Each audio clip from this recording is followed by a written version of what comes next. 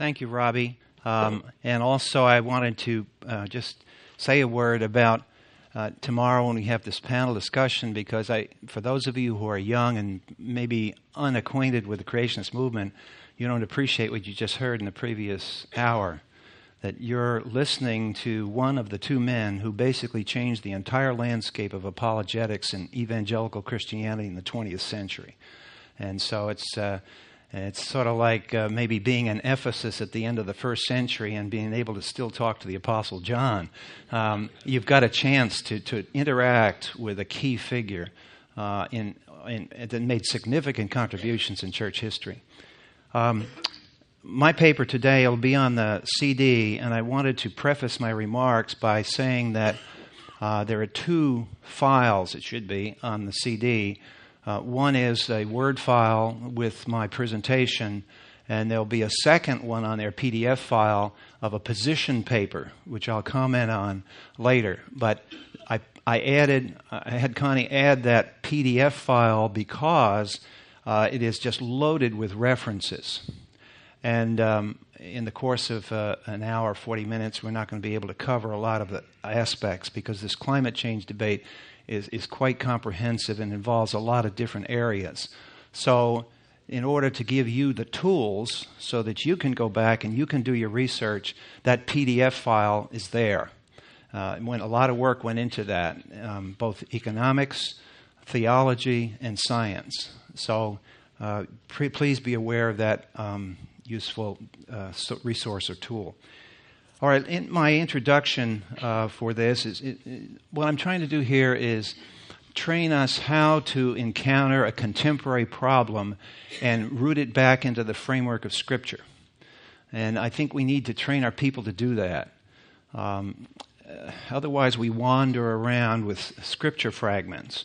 And when you get involved in an issue like this, you need more than Scripture fragments. You need to be able to pull the entire biblical worldview together. And one easier way of doing that is to think, as we do in the Bible Framework Ministry, think of these key events the creation, the fall, the flood, the Noahic covenant, the call of Abraham, and understand that as God acted in history, he also spoke in history and he interpreted those actions. So we have the action of God, and then we have his explanation of what he's doing in each one of those key events. So looking at the climate change debate, I, I think if you're at all acquainted with it, uh, you'll agree that it's become a secular substitute eschatology. In one sense, it's a replacement of the biblical apocalypse. The way it's being handled by a lot of folks in the media uh, with almost a hysterical fear. And there's, a, there's actually a spirit of fear embedded in this whole thing. And I'm not sure uh, whether this is a deliberate manipulation or the folks that are doing this are being manipulated by, shall we say, higher powers. But the point is that there's a there's a, a, a, really almost irrational fear of climate change, and unless we do something instantly about it, because we have such wisdom on how to solve problems, that uh, the end of the world is going to come for Western civilization. Uh, last weekend in the New York Times, for example, Al Gore uh, went on a thing trying to defend why uh, we had 30 inches of snow and it's supposed to be global warming. And in course of doing this, it's interesting when you read uh, the vocabulary that's being used. Here's a phrase from his New York Times uh, ad, uh, his op-ed in the February 27th issue. He said, concluding after his apologetic for his position, he said, we have to invoke the rule of law as an instrument of human redemption. Now remember, this man has been trained in Southern Baptist circles. He, he knows biblical terminology. And what he's talking about here is a global salvation. He's talking about world government with an imposed set of rules that will lead to the redemption of civilization. Now tell me that that isn't involving eschatology and almost a, a counterfeit to what we t- uh, think of as a, uh, a, biblical view. And unfortunately, uh, over the last five or six years, this debate has split into the evangelical community. So, on the, in the paper, I give you on a footnote the two different organizations that are poles apart in this discussion. The evangelical community has been deeply affected by this. Uh, there's one group called the Evangelical Environmental Network, the EEN, and the man behind that is Dr. Jim Ball. And the other side is the Cornwall Alliance for the Stewardship of Creation, headed by Dr. Cal Beisner. Uh, Dr. Beisner is heading an organization that I support, and they were the ones that wrote the position paper that's on your CD, the PDF file. So those are the two splits, and the problem is this that, uh, and, and, I use a terminology here. Um, let me explain. In the, in the paper, I use DAGW. DAGW. Destructive anthropogenic global warming. And I deliberately do those four letters because you'll see what happens as we unpack these words for what they mean. Destructive anthropogenic global warming. And if we are dealing with a truly globally dimensioned crisis that we have caused, and that therefore we must correct the human race, then it would follow ethically that we would have to be morally bound to support the, these policies. And where this impacts people in your congregation is if they belong to corporate structures, they are going to be asked and morally bound to support these policies. And the problem with this is that these policies uh, will involve a pagan view of nature, for one thing, an unethical treatment of the poor, which people have not brought out, the unethical treatment of the poor in the world, and a confiscation of wealth by productive people. And so it's going to impact. So now we have to think through how do we respond to this. So my, my presentation, basically 80% of it is going to be framing it inside a biblical frame reference and applying it to different areas. And then I'll, I'll just briefly mention at the end uh, the structure of this uh, tool that I've put on the CD, the, the position paper. Proverbs 18:13 is a passage which is interesting apologetically and it says he who answers a matter before he hears it it is folly and shame to him. He who answers a matter before he hears it it is folly and shame to him. The idea there is that every question that comes to you or comes to your people has baggage with it. So before you quickly answer a question, you want to stand back, pray about it, think about it. What's involved in this question? And here's what happens in the climate change debate. You'll hear someone say, Well, don't you believe in global warming? Wrong question. It's a wrong question. That question already has skewed the discussion. So we have to back up and ask the proper question Do you believe that man is the cause of global warming? That's the question. There's no debate that there's been warming globally. I mean, you can see that. Uh, it's measurable.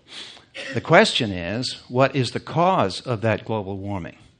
So the question is not being asked that way, and the presentations aren't being asked that presented that way. What you find is people will show endless pictures of the ice melting in, in the Arctic, and oh, it's terrible. The glaciers are moving rapidly now, and there's no more uh, going to be no glaciation in the Himalayan mountains and so forth. Of course, that was challenged recently. But but the idea is that all of these presentations are nice, but frankly, they're irrelevant to the question. Question isn't that at all. Question is what's causing it. Because if it's natural, what can you do about it? The only policies you can do about it, if it's natural climate change, is to accommodate to it. And that's a different policy, and that involves money going in a different direction than trying to change it. You're talking about two different policy choices here, and it depends on the cause of it. So that's the first thing. Let's get the question correct. If it is due to human CO2 emissions, then DAGW. Now we say it's okay, the A is, is correct. If it, if it really is due to man, then it's anthropogenic global warming. But even that isn't the full question, because it could be anthropogenic global warming and still not catastrophic. If there, in fact, has been other warming periods in past history equal in magnitude to the one going on today, and civilization did quite fine, then it's not destructive anthropogenic global warming. So there's two, those two letters, D and A, encompass what the, what the alarmists have to prove. They have to prove one, the cause is anthropogenic, and then on top of that, they've got a second thing. The burden of proof lies on, on the alarmists. The second evidence is, is if it did happen, and if it continues to happen through the rest of the 21st century, is it going to be really destructive? Okay, now I have a slide here that I, I've, I started by going back to an Old Testament book. Um, what I wanted to do was um, I'm, I'm, dealing with some college students who are getting the, the, the, a lot of the liberal arts, class warfare, cultural Marxism in their textbooks right now. Everything is white privilege or uh, gender preference or class privilege these are the buzzwords going on in at least the community colleges. So we're dealing with what is called social justice. So I asked myself, where's the book that you go in the Bible for social justice? The book of Deuteronomy. So here you have a biblical view of, of social justice. So in going to the Deuteronomy text, where would you find uh, addressing the issue of man and nature? Because if you back off from the climate debate and just look at the big picture here, Dr. Whitcomb covered that God is the creator. If God's the creator, then both man and nature are the creation. Now, the next question is what is the proper, ethically, the proper role between man and nature? What is, what is the role that man has in nature? So, in Deuteronomy, we ask here's a, here's a nation under God with God giving statutes and judgments to how to run this society. Now let's look at the thrust of those statutes and judgments. What does he tell Moses to do? And if you'll do this, and, and you don't have to read far into book of Deuteronomy to see this, that a central concern is idolatry. And Dr. Whitcomb has just pointed out sun worshiping basically is behind a lot of the of the thing. But when you ask, when you talk about social issues, um, why is it that Moses is more concerned about idolatry than he is about immorality? Why is he more concerned about idolatry than social disruptions?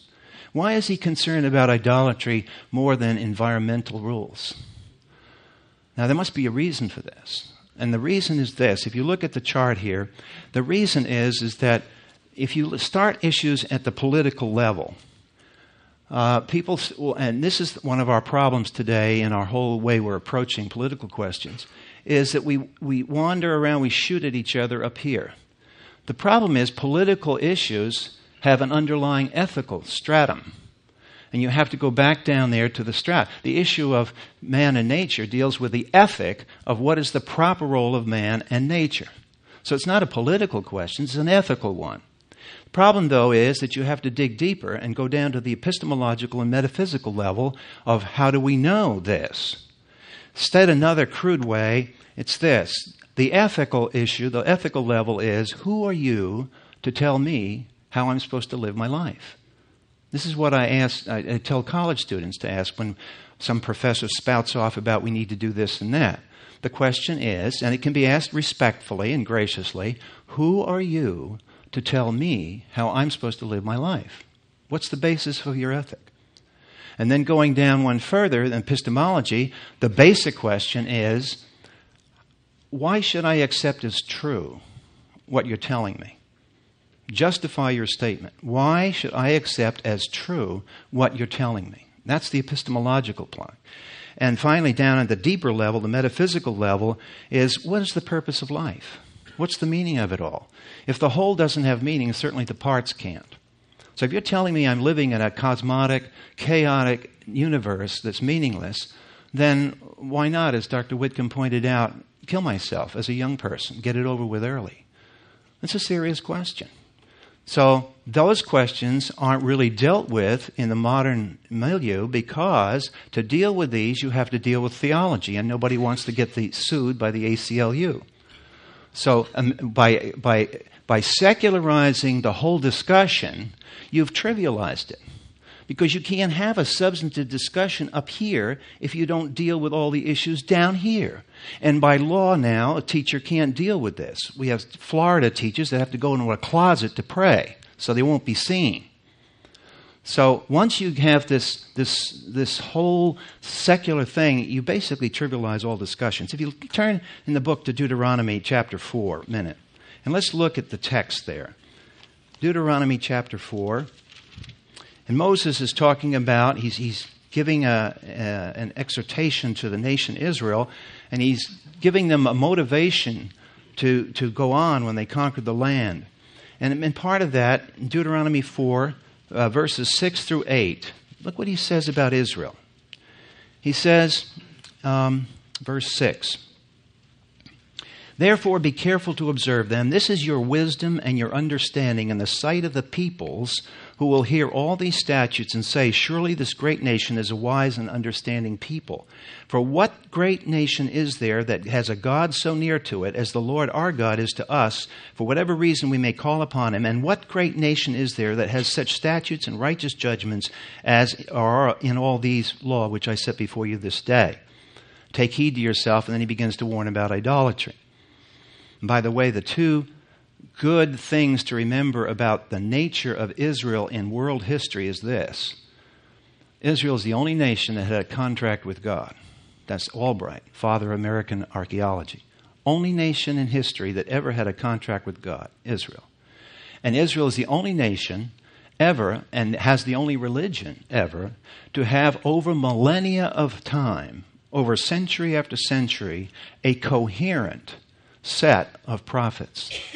Isn't it striking that all false religions only have one prophet? But isn't in Israel they have a sequence of prophets that are developing this because they are allied with the God of history.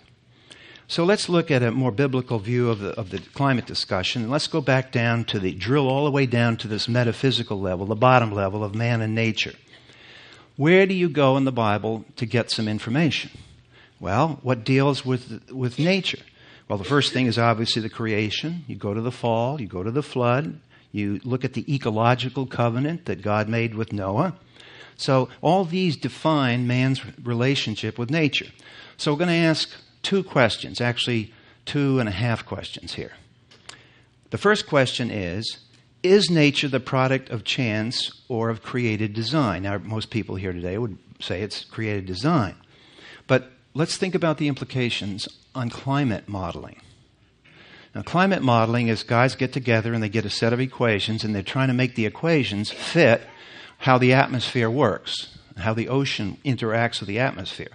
So I'm sitting here, I'm a climate modeler, but I'm not just a climate modeler.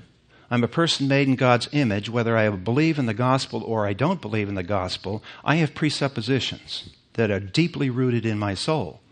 So, how I think about these questions is going to influence how I devise my models. I can't help it. It just spills over that way.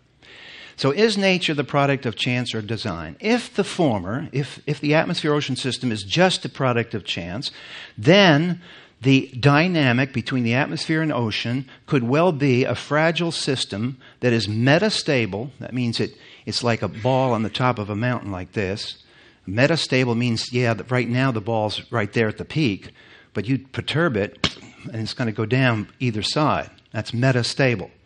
So if the whole atmosphere system is not engineered, so to speak, it could be metastable and it could be liable to massive mis- misfunction when it's perturbed by human efforts.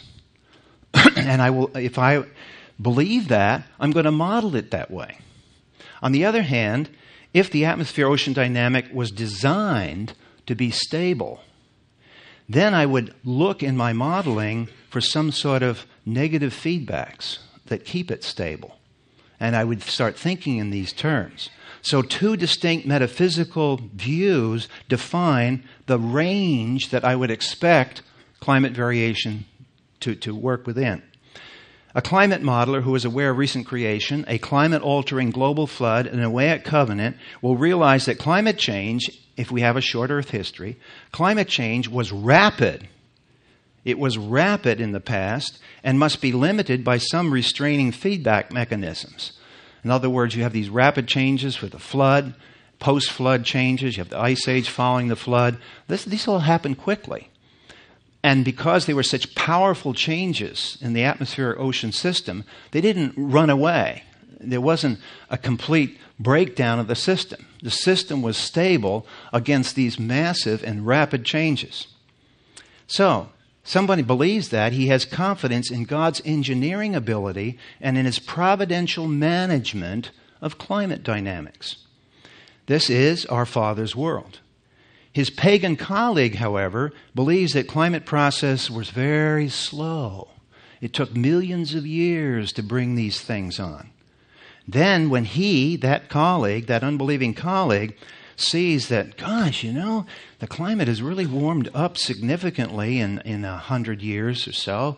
I mean, yeah, it's one, one degree Celsius, but that's a rapid change if you believe in millions of years. So, faced with a rapid climate change, especially since the Industrial Revolution, he would tend to view the climate change as out of control because it's, it's so fast compared to what he's used to seeing in nature. Creationists see God's design throughout nature, including the atmospheric ocean processes. Um, I could say, for example, one of the things the secularized view of education is doing to our children, it's truncating their ability to worship God. Worship isn't just praise and worship in the middle of a what a musician friend of mine calls the 7-Eleven music, seven words sung 11 times. Um, praise and worship is, is should encompass every area of life. When you look at science, and so one of the things that snowstorm, there's two ways of looking at it. I like snowstorms, even if it does this. This is my back, the neighbor's backyard, knocking the trees down and 30 inches of snow. But when I think of snow, I always think of the analogy in Isaiah. When God designed snow, what is the metaphor that is used in Scripture? Cleansing. Remember? The sins be cleansed and be white as snow. It's a picture of righteousness. So you have to take this and interpret it in the eyes of special revelation. That's what special revelation in the Bible is all about. And then you can look scientifically and you look at the snow crystals. Fascinating thing, snow crystals. And all of these have uh, interesting unity and diversity. They all have this hexagonal shape, but then look at the diversity. You have prisms, you have plates, and not only that, but you can look at each one of these and by this chart tell what the temperature and the humidity were when that crystal formed. So each one of those tiny snowflakes is bringing down with it a thermodynamic biography of what it did. Now, to me, that's interesting to me, that's a worship situation. When I would teach children this, I would teach them to be thankful to God for that. Look at, look at our God, look at our Creator, and look at the neat things He's doing. Every one of these little guys has his own little autobiography going with him. So that's the difference. You see, when you have a creationist view, you can worship. And then what does Jesus do when He deals with nature? He uses it again and again in His sermons, in Sermon on the Mount. What does he say about the lilies of the field? Solomon was not arrayed like one of these. What does he say about birds of the, of the, of the, they don't sow in barns, but your heavenly Father feeds them? So isn't that a friendly view of nature? Didn't Jesus have the idea that nature is a stable environment for man?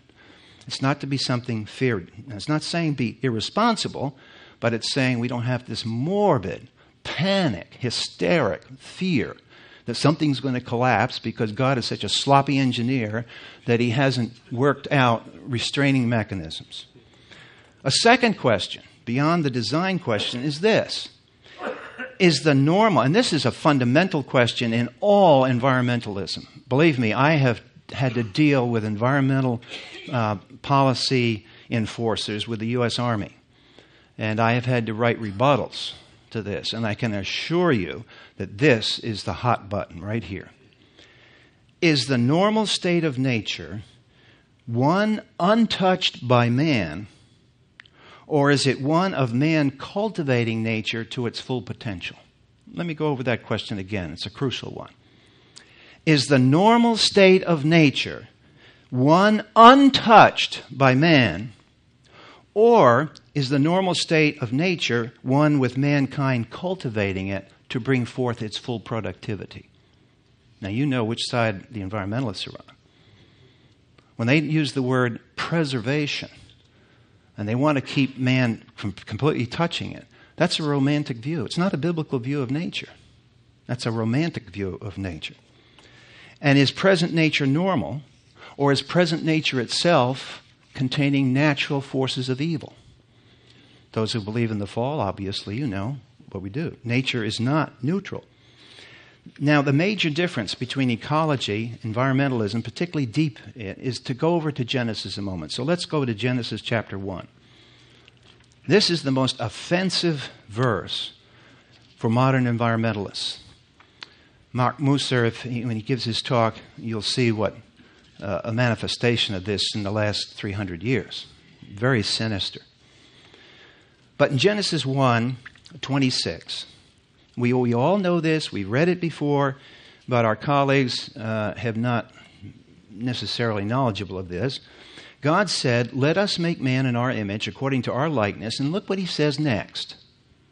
Let them have dominion over the fish of the sea, over the birds of the air, over the cattle, over all the earth, over every creeping thing that creeps on the earth. Now, Henry Thoreau and the other guys in the 19, 1800s don't like this kind of stuff. And the European philosophers didn't like this kind of stuff because this is the way they interpret it.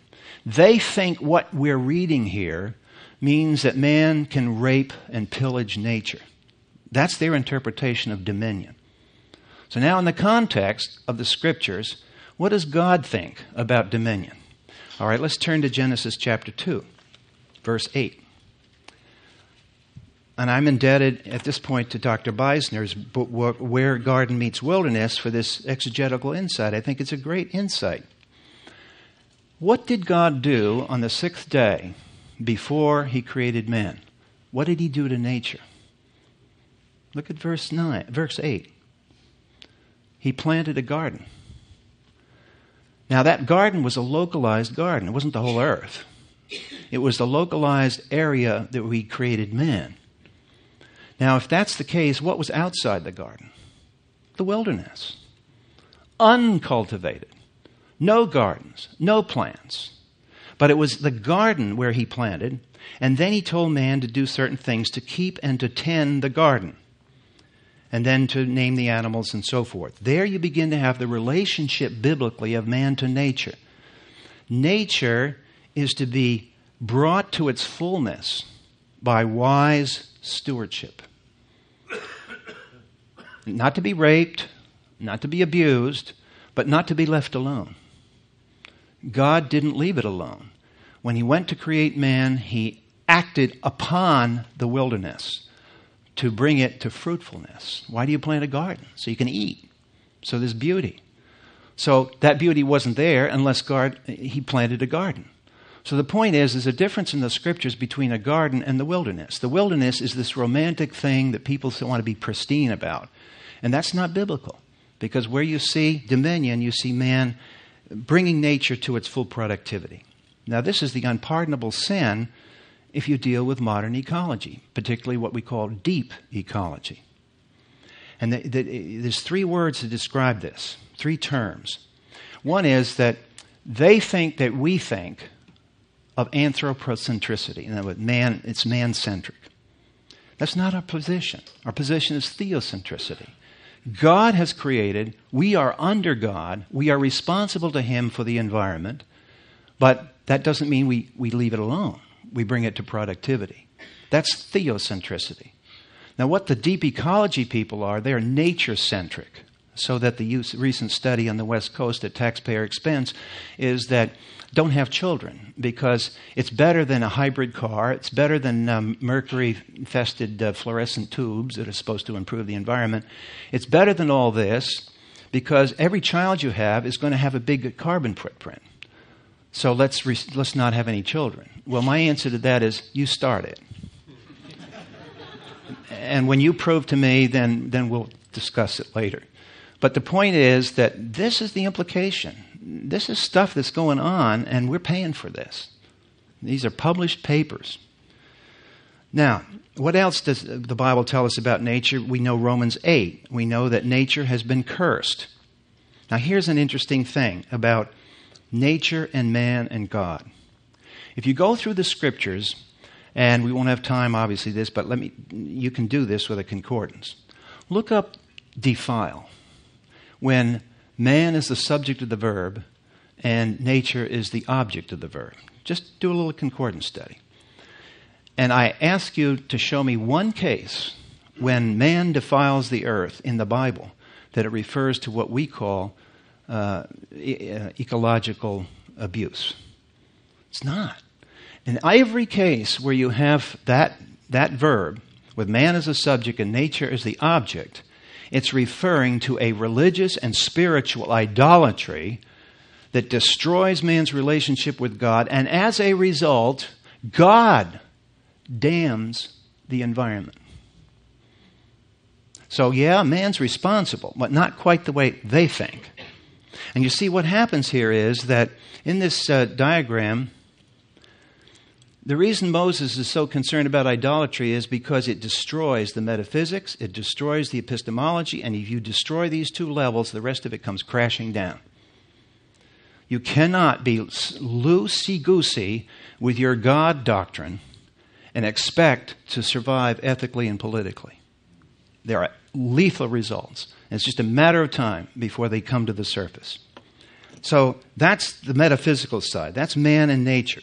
Now we come to the epistemological level, up one. How do we know about nature? And this is an interesting study in the climate change debate. And that is, how do we, how do we know nature? Now, I've had graduate studies, I've had undergraduate studies in science, and I'll tell you this I've never been in an engineering course, a math course, or a science course that's ever dealt with this. And that's the foundation of how we know. Here's God, here's nature, and here's man. God comprehensively knows nature because he created it. God comprehensively knows man because he created it. Man knows partially God, and man knows partially the creature the two truth tests that everybody uses, including the mathematical modelers, nobody ever says, why does it work? The, car, the consistency, the logical consistency criterion, the, the, the logical proofs, the rigor of, a, of an equation set depends on the fact that man's thoughts can be orderly because God's plan is orderly. Now, if there's no God and no plan, how do you justify this logic thing? Are monkey brains logical? And if they appear logical for the moment, how do I know they're not going to be logical next Tuesday? So, the, the only basis for the consistency truth test is this picture that God, the Creator, gives us. And then we have the correspondence criteria that all science is built on that man's ideas can correspond with factual reality. It's only because both are part of a unified creation. What did God tell Adam to do to the animals? Name them. That means the thought in Adam's head corresponds to the reality of the animal. How did that work? Because God made man to be the knower. So, this is the basis, and once again, why if you tamper with your theology, you tamper with your science. But this can't be discussed in any public forum because the ACLU will say we're introducing and violating separation of church and state. Well, what do we do now in, in the area of climate and epistemology? Well, Climate research faces a formidable set of problems. Data sets are very limited. Do you realize that there was no systematic temperature measurements globally before 1850? And even in 1850, it was pretty, pretty scattered. Do you realize that there were no upper air measurements or CO2 measurements on a global scale prior to 1950? On a, on a global scale. Do you realize that there were no satellite pictures or radiation measurements prior to the closing decades of the 20th century? Now, isn't this interesting? The digital data that we have by direct measurement only goes for a century, but we are trying to say how the climate works over many centuries. So the problem is, in climate research, how do you extrapolate this big, tiny data set? And remember this next time you hear about some satellite pictures showing melting in the Arctic. Well, what were the satellite pictures showing in 1930? There weren't any. So, what are you comparing it to? I want to know the trend. You're not giving me the trend if you can't tell me what it used to be 100 years ago because you don't have any data on what it was 100 years ago. So, what happens is the climate researchers, and this is part of the email traffic that you've heard about in the news, What they have to do is they have to use surrogate measurements, that is, some indirect mode of measurement for the past, where direct measurements weren't made. And there's a variety of, of ways they do this through ice core data, f- tree ring data, uh, river flow things, and so on. So the problem is then that we try to reconstruct by measuring what's going on in the surrogate world to what's going on the, the measurement world. Now, how do you know that the two are the same? Problem is that you've got to have an overlap period.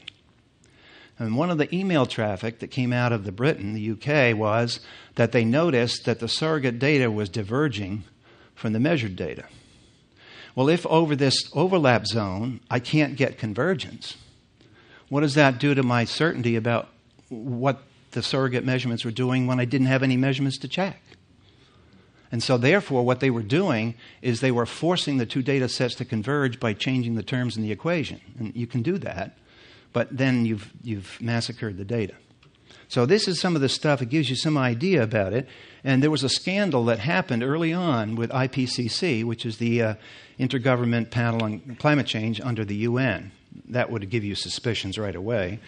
Um, but one of the third report, I believe it was, or the earlier reports uh, had this diagram of the climate back to 400. See, here's 1000 AD, right in here. You see how warm it was? That's the surrogate measurements. And this is the modern measurements here.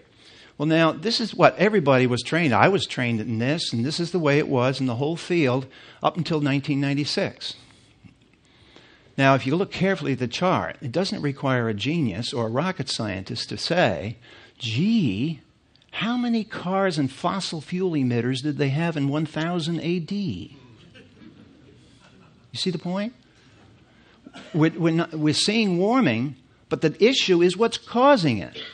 So, how can this necessarily have, be attributed to CO2 emissions when this wasn't? So, in order to deal with that problem, Michael Mann, who at the time was at the University of Massachusetts, came out with a more sophisticated statistical set of equations. And by the way, th- these are very, very difficult because you're dealing, and those of you who had engineering, you know the problem here. You've got concentrated data set, North America. You've got no data over the ocean. You've got a messy data set from Africa. You've got areas of Siberia with very little, so you've got an, un, an unhomogenized data set. So now, how do you weight these? Do you weight the, the few stations in Africa that don't have quality control, by the way? Do you realize that the temperature measurements in the United States are not calibrated? I was shocked at that. I had to calibrate all my thermometers. Army wouldn't accept measurements unless I calibrated them to NSIT standards. Well, NOAA doesn't do that. They don't have money to do that. That went away in the budget years ago. So, point is that you have that, that curve. So Michael Mann comes up with his statistical analysis and he comes out with this. This is the so called hockey stick. And it's called hockey stick because it looks like a hockey stick here. And obviously, if you look at that graph, you're going to be saying, wow, we've got a problem. And it does coincide with the Industrial Revolution.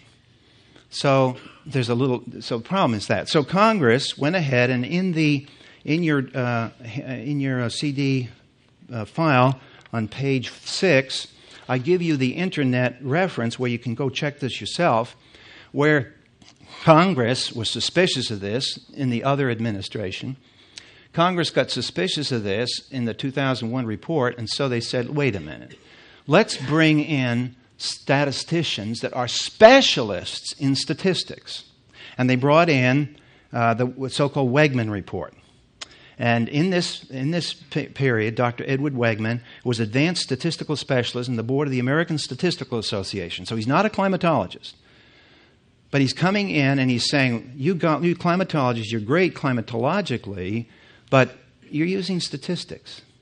Have you consulted a statistics professional before you applied all these statistics to this very complicated statistical problem? No.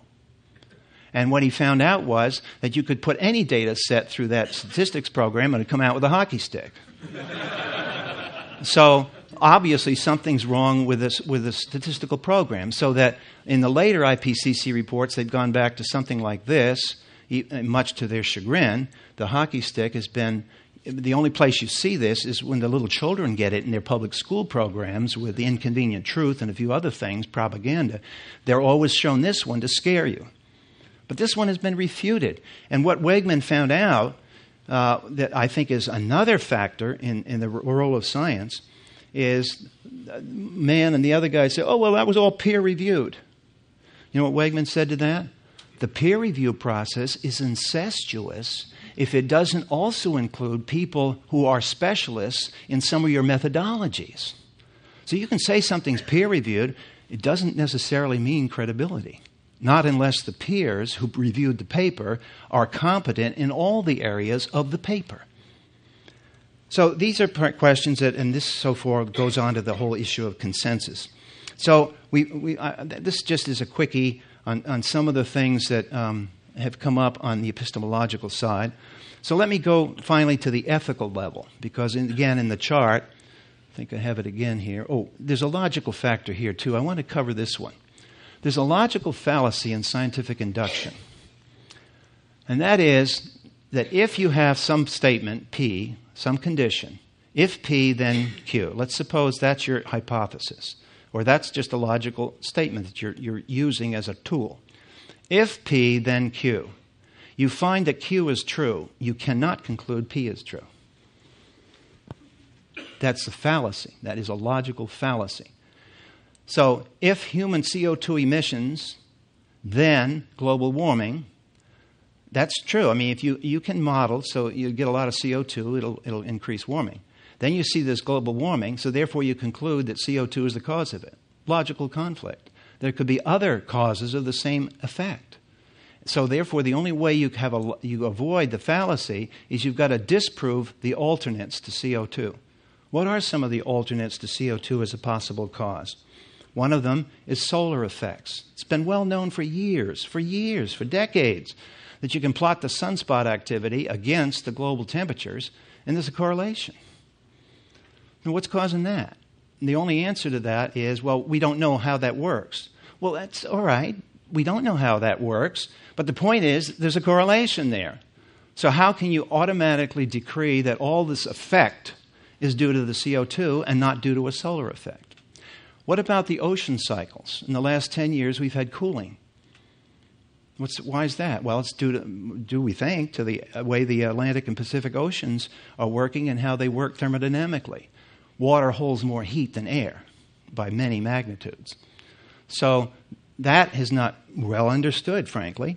And then the other thing that's not understood is that CO2 by itself, if you doubled it, would only raise by one degree the atmospheric temperature. So you say, well, wait a minute, these guys are predicting five, six degrees. How's that? because they're saying that once the CO2 does that, then water vapor is more in the atmosphere. and water vapor, by the way, is the real greenhouse gas, it's not CO2. and water vapor amplifies the effect of the CO2. The problem here is water vapor has a property that CO2 doesn't. Water vapor has change of state. It goes from solid, liquid, to gas. Every time it rains, you've gotten rid of greenhouse gas. You ever think about that? Heavy snowstorm, got rid of greenhouse gas. It all came down as liquid, all came down as solid. So now, with a drain down of, of this water vapor, now isn't it true that the earth can then radiate more effectively with a drier air above because it precipitated out? See, these are things that are not really known very well quantitatively. So the idea of a consensus, the idea that, for example, all models agree, only mean that we're all models are using the same set of equations. That doesn't prove anything. So that's all the metaphysics, the ethics, this is how we know, and so on, which is not well uh, handled. Now we conclude finally one area biblical ethics. What is the role of the man and nature, and how to conduct true science? Here's a problem that not only is it the incestuous problem of peer review, but many of you have heard that Eisenhower, before in the last few days of presidency, gave a famous speech. And it's one liberals often quote the, milita- the problem of the military industrial complex. What Eisenhower was concerned with was letting public policy be forced by large corporations that support the military. And everybody knows about that. But I went back and I checked his speech. Interesting. Look at the next paragraph that nobody reads. Look what Eisenhower said. He's talking about the technological revolution. Is this revolution, research has become central, and it also becomes more formalized, complex, and costly. A steadily increasing share is conducted by, for, and at the discretion of the federal government. Today, the solitary inventor tinkering in his shop has been overshadowed by task forces of scientists and laboratories and, te- and, testing fields. In the same fashion, free university, historically the fountainhead of free ideas and scientific discovery, has experienced a revolution in the conduct of research. This is 1961 partly because of the huge costs involved, a government contract becomes virtually a substitute for intellectual curiosity. For every old blackboard, there are now hundreds of new computers. The prospect of domination of the nation's scholars by federal employment, project allocations, and the power of money is ever present and is gravely to be regarded. Yet, in holding scientific research and discovery in respect, as we should, we must be alert to the equal and opposite danger that public policy could itself become a captive of a scientific technological elite. It is a task of statesmanship to balance this. Now, if you're the head of a laboratory that has 400 scientists in it, and they depend upon you, and you are a government laboratory, and 99% of your operating budget comes from Congress, what are you going to do before the next fiscal year? Are you going to engage in research that offends some of the uh, political intrigue and agenda going on? I don't think so if you want to be funded. So now what we've got, we've got positive feedback, all right. We've got positive feedback between laboratory budgets and the research emphasis. There's no research going on dealing with solar effects. Isn't this striking? Climatology research has been upped 20 times in the last seven years. Now, it's a gravy train that's going forward here. And if you're part of that professional group, you're not going to split with that because you're, it's, it's feeding you. Sadly, what we conclude here is science is now for sale. It's tragic to say that. Science is for sale. The highest bidder gets the results that he wants. So, how do we conclude? Well, I wanted to, just in the last uh, minute here, so my presentation, I wanted to direct you to the second uh, thing that's on your um, uh, CD. Uh, you'll see there, there's a PDF file entitled A Renewed Call to Truth, Prudence, and Protection of the Poor. What Cal Beisner has done there, I think, is brilliant. He gives you the theology, much of which I've covered. But then he has a whole, and by the way, he's, he's used a wide range of evangelical scholars. This is what you have to do when you fight political battles. You can't go in there as the Lone Ranger because you can be shot down with an ad hominem argument about some little fluke or something. So you go in and you, you uh, are co belligerents with people that you might not agree with in every theological fine point. But because you're fighting a big battle, you have sort of a combined operation that you're running here. And so, what he's done, he's got a, a, group of evangelical scholars together to define man versus nature. The second part of the paper is all on science. And he's got men who are in atmospheric science, who are competent, and they give you all kinds of references. They show you the graphs. It's a great storehouse of data. And then the third section of the paper is on the impact this is going to have on the third world. In the third world, people are burning dung and uh, getting asphyxiated, getting lung disease. The only way they're going to power pumps to get water, good water, the only way they're going to be able to cook without cutting down forests is with fossil fuels. Take away the fossil fuel, and you've damned them f- forever to be poor, deprived people. And it's also interesting that when you hear this guilt trip put on the developed countries because they owe more. If you look at the environment, you will see it's the developed countries that take better care of the environment. It is the developing world and the undeveloped world that abuse the environment. And what does that tell you about economics? Where you have economic prosperity, you have the luxury of then taking care of the environment. It's exactly opposite to the way they say. And we are not running out of economic resources, and it's a simple test anybody can do. If we were running out of natural resources, you could go to the commodity charts and go all the way back for the last 200 years and see that prices were rising. But you don't. The prices are falling. So the price curves tell you that we're not running out of resources, that as we run out of one or two things like whale oil, God has, uh, as, as, somebody said, it was fighting this whole uh, Keynesian effect and this, um, the idea we're going to be overpopulated and so on, uh, Malthus effect, I mean. Uh, they said, you know, strange thing. Every human being comes equipped with a brain. And it's interesting that because every human being does come equipped with a brain, who is in God's image, we invent new ways to breed out of nature productivity. So we're not running out of resources. When God said, fill the earth, be fruitful, be multiply, he meant what he said. There's no rejoinder in Genesis one and a half about carbon footprints preventing new birth of children. So these are some of the big ideas that are involved in here, and I think, if nothing else, when people are involved and panicky about this, um, one of the things you can at least do is bring them back to the scripture of what is man's role in history in nature. So that's where you get up back up now. We can discuss this, but train your people to go to drill down to the bigger questions. Now just shut up for a minute, stop texting, and start thinking for more than five and a half minutes and read the Bible. And we might come up with some solutions. Robbie, thank you.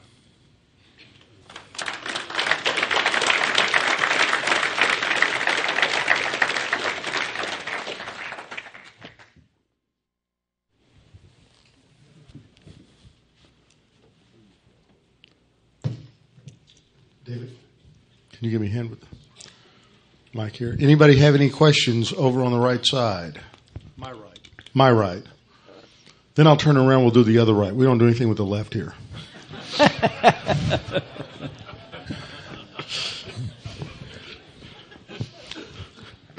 okay. Anybody over here have any questions? Anybody over here know enough to ask any questions?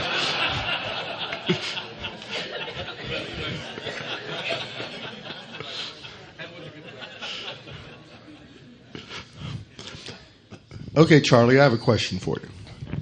Because my my gut feeling here, and we all know how